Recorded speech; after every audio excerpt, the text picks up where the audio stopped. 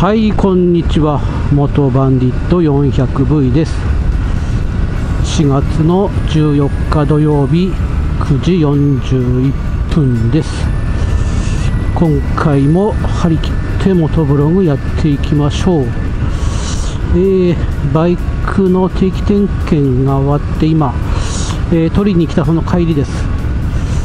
えー、12ヶ月点検でえ今回あのいろいろ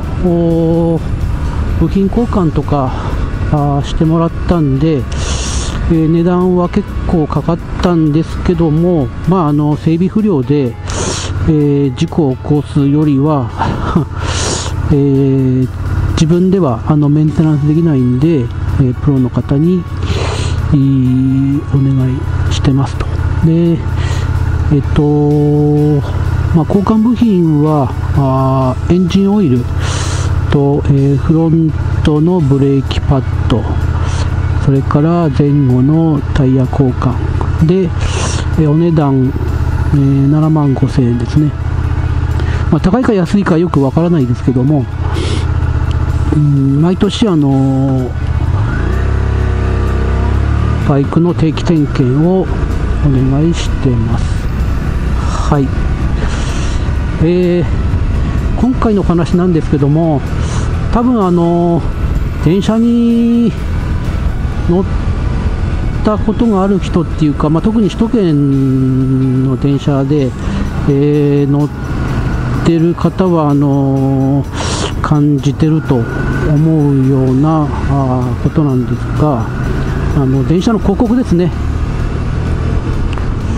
えー、広告の下の方にですねとてつもないあの小さい文字でなんか注意事項を山ほど書いてるのがあるんですがあれって誰に読ませる気っていうかそもそもあの読んでほしいっていう意図があるのかなとあの小ささ、えーあの文字を読める人っていうのは、えー、まあ、広告主ですよね。それからその印刷会社、まあ、このところは当然あの広告主はあの間違ってないかどうかっていう文字チェックしますんで多分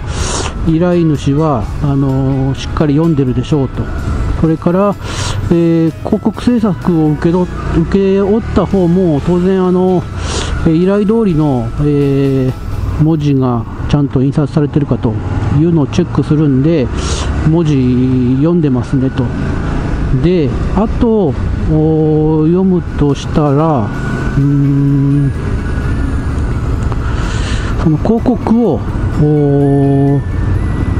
何て言うんでしょうその掲示するっていうんですかね貼り付けるっていうんですかね、まあ、そういう仕事をやってる人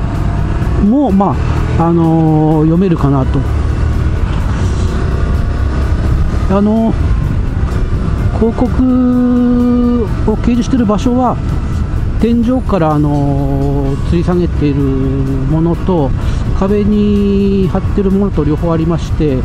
天井から吊り下げてるやつはまあまああの近くによれば読めないことはないかなっていう感じはあるんですけどもあ壁際のやつはあれどう考えても乗客は読めないですよね。よっぽどあの背が高い人じゃないとあそこの壁際のちっちゃい文字は読めないですよね。という中であの広告のそのちっちゃい文字のあのなんだろう、えー、意味っていうか、えー、例えばその法律上、えー、書かなきゃいけないんで書いてますというんであればなおさらあのでかくしないとダメっすよね。えー、というあの多分誰でもが疑問に思う電車の広告のちっちゃい文字は、まあ、本当に読ませる気があるのかというお話でした